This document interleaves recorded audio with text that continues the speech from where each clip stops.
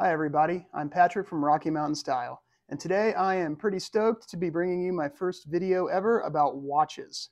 I'm a big watch fan, I always have been, and when I started this channel, watches were going to be an integral part of it. However, you know, given that you only have so many watches and you can't pick up a new watch, you know, every week or every other week like you can a shirt or a t-shirt or a pair of jeans or something like that, I decided to slow roll the watches a bit and, and wait a little bit later in the channel's life before I started bringing those up. So stick around. I'm going to tell you about my current watch collection and when I got them, why I got them, and just in general what I like about watches and how I got started.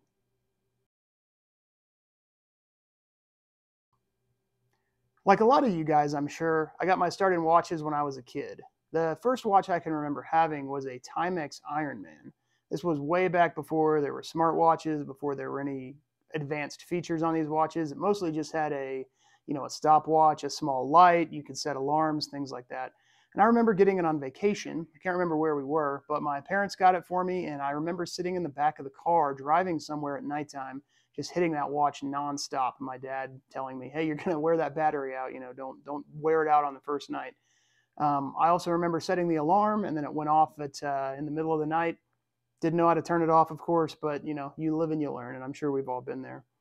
Uh, from that Timex Ironman, I graduated many years later to a Fossil watch. I was probably 14 at the time, something like that, 13, 14. Uh, just starting to become a little fashion conscious, you know, as as you grow up and you want people to, you know, like how you look and things like that. You want to look put together, more grown up, perhaps. So I, I started getting uh, fossil watches for Christmas, birthdays, things like that. And I had a couple. I remember one in particular. It was, uh, you know, and, and, now I know what it was modeled off of, but at the time I didn't. It was a blue dial with a stainless steel bracelet, and then it had gold laid into the bracelet as well. Gold tone, obviously not not real gold, um, but it was modeled after a, a, a Rolex Submariner, you know, blue dial two tone Rolex sub. So I thought that was pretty interesting back in the day. I had one of those. I had a couple other different fossils throughout my teenage years. Then when I went to college, I remember asking for a citizen watch. And you know, these were in the mall. You could see them in the, the cases, you know, at, at Zales or Kay Jewelers or, you know, whatever your mall jewelry store happened to be. So I would walk by and see those and think, man, those are those are really high end. Those are really classy. And at the time, I believe this was close to around when you know the Citizen Eco Drive uh, movement started to be popularized. And I couldn't believe that you know the watch would charge from the sun. You know what a concept, right? But um, I got a stainless steel one. I wanted the titanium one. I remember, uh, but at the time it was too expensive, and my folks wouldn't wouldn't pick it up for Christmas or anything like that. I think it was maybe I don't know, 300 bucks, something like that. And, and I wasn't really working much, so I didn't have a lot of extra income to spend. However, uh, I had that Citizen watch quite a while. I picked up probably two or three other Citizen watches in my 20s, and then I kind of went through a bit of a hiatus where I really wasn't wearing watches at all, you know, through my through my late 20s and into my mid 30s, really. So I, I, had quite a long period of time. Um, and one day I just started thinking, you know, I really liked wearing watches. Why why don't I wear watches anymore? Um, so I started doing research on YouTube. I discovered mechanical watches because you know back in the day it was all about what a watch looked like. The the construction, the artistry of it, the engineering really didn't play into it for me. It was all about looks only. But I began watching some videos um, of some prominent YouTubers. Um, the Urban Gentry with TGV was was chief amongst those, and he really helped me grow my appreciation for watches in general and mechanical watches. So with that said, um, the first, you know, and I'll say expensive, put it in air quotes here, because um, I, I, bought this about three years ago. I was, you know, 35 years old, so do the math there. Um, the first watch I bought was this Glycine Airman. I believe the reference is a GL0067. Um, so it's a 42 millimeter, uses an ETA 2824 movement, and um, I kind of fell in love with the story of this watch, and that's why I picked it up. Um, you know, U.S. pilots in, in Vietnam needed a way to synchronize time with each other, and they bought glycines, from what I understand, out of their own pockets, which was pretty cool. You know, a small Swiss watchmaker, which was not super well known at the time, as far as I know. But these guys, uh, these pilots in Vietnam, you know, flying sorties and things, wore these watches, and, and I thought that was really cool. Um, the one I have, of course, is a, a more modern version. Um, you know, since Invicta bought out uh, Glycine, they're part of the Invicta group now the designs have changed a little bit, but um, you know, I, I, picked it up. I think on a, a gray market website, know, Joma Shop or something like that for I don't know, 300 bucks on a on a Black Friday sale, and, and I was I was thrilled with that. Um, I still like the watch. I think it's a strap monster. You can put all sorts of different things on it, and I'm pretty happy with it. So the next watch I bought was pretty soon after that. Um, so I probably had this one two and a half years or so. Uh, this is an Orient Mako 2. Uh, they don't show them on their websites as uh, by those names, but um, so this one's great. Orient is a neat brand. Um, they are, I believe, owned under the the Seiko Epson umbrella with with Seiko. So they're part of that family. They've been around for you know 70 years or so. They make in-house movements, which is really cool. Uh, I don't believe they're manufactured in Japan, but but they are designed um, original in-house movement designs uh, with the Orient company. So this one in particular, the Mako 2, I really like because of the way the Arabics are placed at uh, 12, 9, and 6. It's, it's in my mind, and this is kind of loose, it's indicative a bit of the Rolex Explorer, but I think the proportions are really clean. The, the numerals aren't too big. There's a lot of balance with the watch. Um, I picked this up probably 150 bucks, something like that. Mineral crystal, you know, the, the bracelet's a little bit jingly as you get with, with watches at this price point. But I, I liked it so much, I actually um, you know, through another YouTuber I watched quite a bit of, uh, Mark from Long Island Watch, um, he started offering um, sapphire crystals for lots of different Seiko products and Orient products. So I picked up a sapphire crystal for this and got it installed at my local uh, watch shop.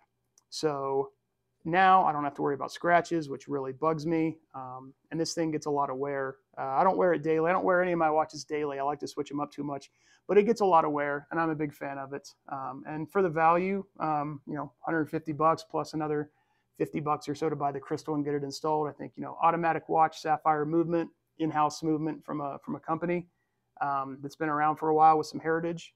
I think that's pretty cool. Uh, the next watch was this Timex Metropolitan, I believe is what it's called. I don't believe these are offered anymore for sale, but um, if I can find a picture, I'll throw one up here. Uh, my wife got me this for Christmas because as I was starting to accumulate watches, um, and, and I'll, I'll, note now, this isn't every watch I've bought. I have bought some other watches, some lower end ones uh, that I just bought because they were cheap or they were on sale because I was trying to, you know, I have to have every kind of watch. I need a dive watch. I need a dress watch. You know, I need this, I need that, a field watch. And I accumulated some I wasn't too thrilled about. Um, some of them I've given away. Some of them I've sold on um, OfferUp or or uh, Craigslist or things like that.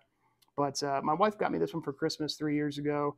Um, it's really thin. Obviously, you won't be able to see it on the camera there, but uh, it's super thin. It doesn't have a seconds hand, which I thought was kind of classy. So when you look at it, it's just still. You know, it's you know, I'm not exactly sure if I'm using this term right, but it's kind of Art Deco in its styling. Um, I don't wear this a ton, mostly because I've got a lot better options now for dress watches, but you know, it was a gift from my wife, so, so I'm always keeping that. And then uh, fast forward another year, um, for our seventh wedding anniversary, my wife got me this, and this was my first, in my mind, my first proper luxury Swiss watch.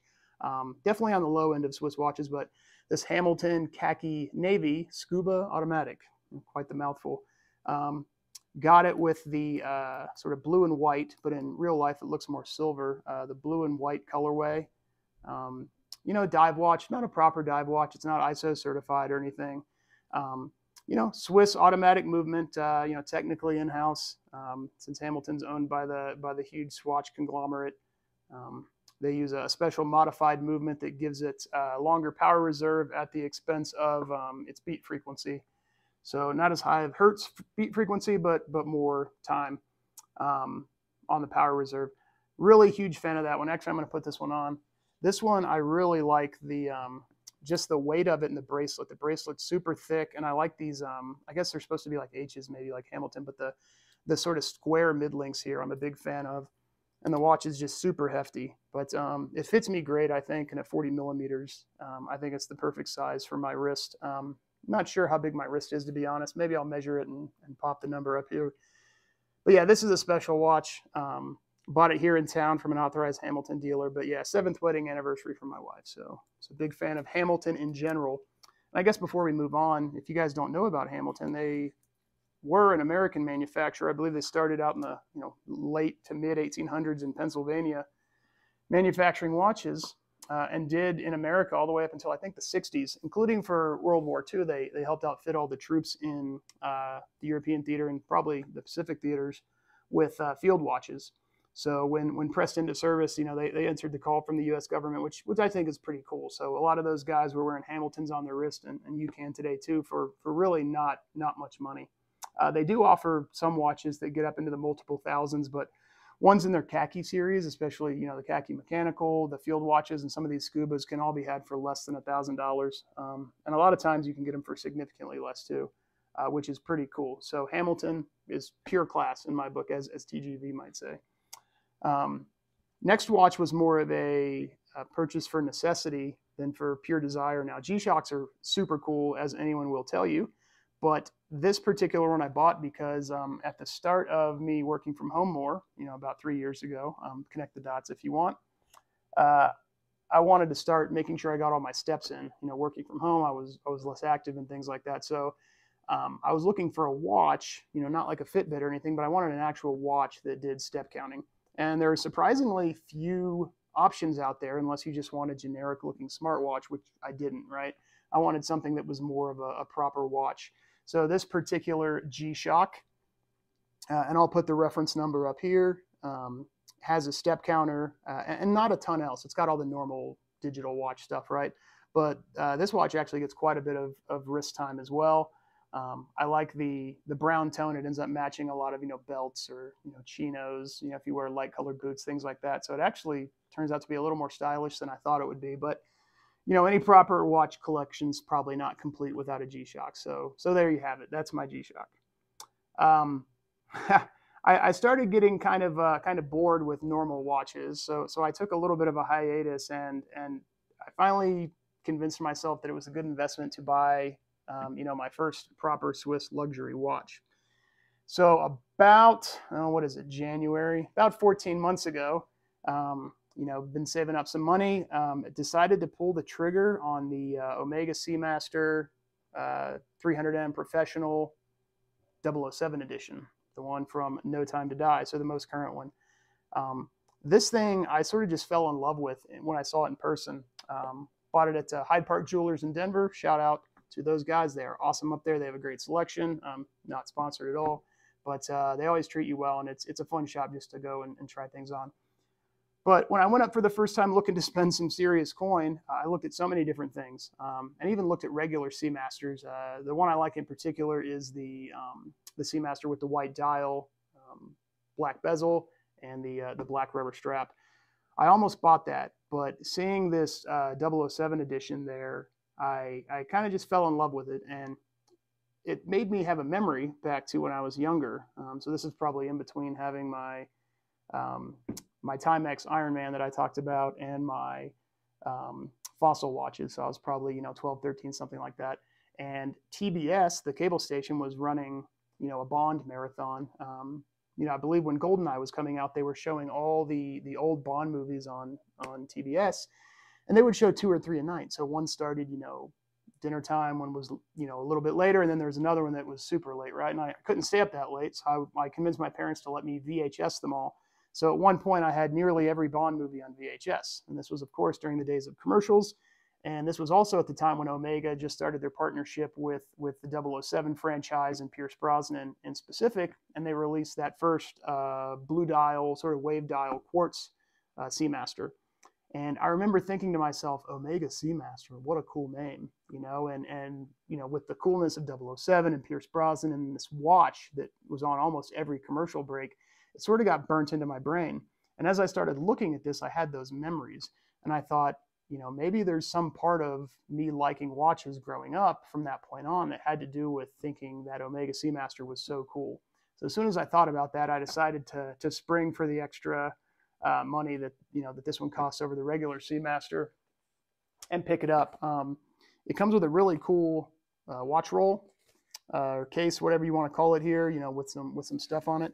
So as you can see here, I don't have this on the NATO strap or the titanium Milanese that it comes with. Um, I did buy the one with the NATO strap because buying that titanium bracelet is $1,100 and that was a little tough to, to swallow. But yeah, so it does come with this really cool colored NATO. Um, I do like NATO sometimes, not all the time, but with this one, just because the the the clasp and everything is branded, you know, it's got the Omega there and it says 007 here. I didn't want to get scratches on it, so I picked up a couple different straps to wear with this. Um, the first one, which actually looks really good, is just a uh, sort of a plain leather band that's in natural Chromexcel leather, and then uh, this one is a sailcloth strap from uh, from Barton. So, you know, cue the comments for putting a $20 strap on an $8,000 watch, right? But, um, you know, all black and the dial is, is essentially black. I think it looks pretty good. And then the um, sort of the, the fauxtina that's on the, um, the indices and around the bezel and things like that go pretty good with, with the brown um, in the natural Chromexcel. So that's long enough on the Omega. Um, great watch. I love it. And I hope to have it for many years. And then my most recent acquisition, um, sitting over here in a position of prominence in its own little box, is my uh, my most recent pickup, which was just a few months ago for uh, our 10th wedding anniversary.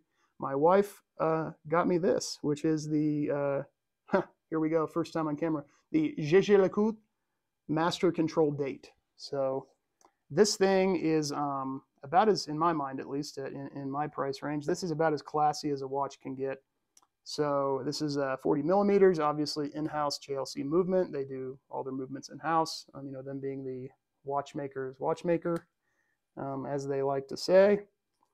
But um, so this thing is is awesome. Um, you won't be able to see it on the video here. Obviously, if you want, you can look up pictures or other things like that. I don't really have a good macro camera, so I can't do my own shots, but there's plenty out there if you're interested in looking at it. But just the the balance of the proportions, the the blued second hand, um, you know, the care with the finishing around the date window, and just just how it is in general, its wrist presence is it's really tough to beat. So um, I, I, bust this out. I don't wear it around the house or anything, but I bust it out when we're going out to dinner, things like that, going on a trip. Um, and I really like it, and it's a special watch to me. So I, I, hope to make many more memories with this as the years go on. So that's my current collection. Um, I will have one honorable mention, a watch that I got rid of not too long ago. I sold it on uh, Craigslist, and I, I'm sort of regretting it. I wish I didn't. I had a Seiko Turtle Save the Oceans edition, the shark one with the uh, hidden shark on the dial. I uh, can't remember the reference off the top of my head, so again, I'll pop it up here. And uh, if, if you're, I mean, a lot of you guys, if you're watch people, you know, there's some people that are obsessed with Seiko and some people that just don't get it right. I kind of always felt that I was in the middle of that that group. So I was a big fan of Seiko. I, I, I appreciated their history and all they've done, you know, horologically for the watch industry over the years. Um, but as their prices started creeping up, I started thinking like, would I rather have another Seiko Prospex diver for 700 bucks, or would I rather buy a Hamilton? And, and in my mind, I started thinking like, I'd probably rather have a Hamilton, or would I just rather save that money and towards my next, you know, big luxury watch? Um, so that's why I sold it. I sold it to raise money for for a different purchase, um, different future purchase. But I really liked that watch. The the dial with the hidden shark and just the, the blues and the colors um, was pretty cool. So I kind of regret selling that. So maybe let that be a lesson to you. If you have a watch that you like, don't sell it just for money. You know, just just keep it. And if you have to save a little bit longer for the next watch you want, you know, just do that. So uh, I appreciate you guys watching today. If you enjoy this kind of content, let me know. Um, if you'd like to see any more about any of these particular watches, or if you want to hear my opinions on anything, let me know in the comments below. Uh, I do have a lot to say about watches, but there's so many good watch YouTubers on YouTube that I'm not going to focus too much on my channel about it. I really don't feel like there's a ton I can add other than to just, you know, introduce it to you guys and say I'm, I'm a big fan of watches and, and, you know, they're a part of my, my life and my sartorial journey, if you will. Um, you know, a good watch can help complete, you know, an outfit, things like that. But um, I guess before I go, I wanted to mention a couple other YouTube channels that I really like that help me learn a lot and that are very informative and entertaining. Um, so the first, uh, many of you guys have probably heard of him, uh, Nico Leonard is uh, one of the most entertaining dudes on YouTube, um, as evidenced by the fact that he went from no subscribers to a million in, I don't know, less than two years, 18 months, something like that. Uh, he basically just does reaction videos to super expensive celebrity watches, but uh, you know, he's uh, he's Irish. Um, he's got a, a, store there in Belfast, I think is where it is, and he's super entertaining. Um, as far as information goes, and just for pure you know artistry with macro shots and things like that. I think Teddy Baldassarre can't be beat. Um, and he's from my my home state. I'm from Ohio originally, so is Teddy. So shout out to the Ohio boys. Um, he does a lot of great stuff and he puts out tons of content. So if you if you subscribe to him, uh, you know, and hit that notification bell, you're going to get spammed because he puts out a lot of stuff. And then a newer one I've been watching recently is Britt Pearce, who goes by the Watch Gringa, I believe. I can't remember the exact story about about where that came from, but she's uh, she's a Canadian living in England, I believe now, and she puts out some really cool stuff. Um, she has a lot of interesting watches. Uh, I believe her husband has a cool collection too, so those get cameoed sometimes. But she's hilarious, so you should definitely check her out if you're into watches. All right, I think this is getting long enough, guys. So I want to say thanks for watching. If you made it this far, um, I think that means you like the video. So hit the like button, um, subscribe if you feel like you like this kind of content. Um, I'm still having fun making it, so uh, I'd like you to be here with me as we grow. So thanks a lot, guys. Have a great day.